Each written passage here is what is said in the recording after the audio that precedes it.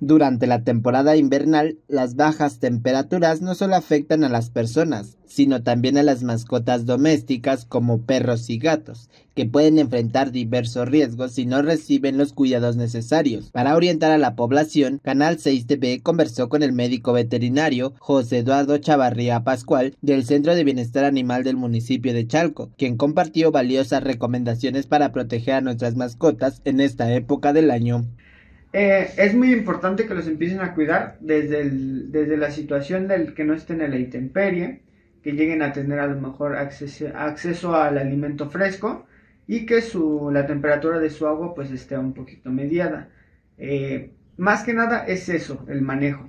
También hay que dar un manejo en, en, el aspecto de la medicina veterinaria, acudir al veterinario para que les haga un chequeo el médico señaló que al igual que los humanos, las mascotas pueden sufrir enfermedades respiratorias como gripe o bronquitis a causa del frío. También indicó que las bajas temperaturas aumentan el riesgo de hipotermia y lesiones en las almohadillas de las patas por contactos con superficies extremadamente frías.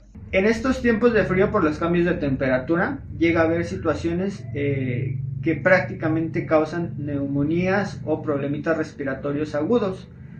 Este tipo de situaciones se pueden evitar. Asimismo, subrayó la importancia de mantener el carnet de vacunación actualizado y realizar chequeos de rutina para prevenir y atender cualquier enfermedad. Las vacunas no solo protegen contra virus comunes, sino también contra patologías que pueden agravarse durante esta temporada.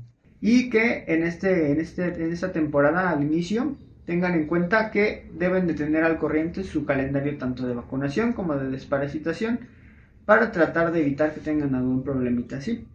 El médico veterinario también hizo énfasis en revisar la alimentación de las mascotas. Durante el invierno los animales suelen gastar más energía para mantener su temperatura corporal, por lo que es vital ofrecer una dieta equilibrada y nutritiva. Siempre hay que consultar con un especialista antes de realizar cambios en su alimentación. Finalmente, el médico veterinario instó a los dueños a prestar atención a los cambios del comportamiento de sus mascotas y en caso de notar algo raro, acudir con los especialistas con el fin de cuidar a las mascotas, especialmente en una temporada tan desafiante como el invierno. Para Canal 6 TV, Rigoberto Santos.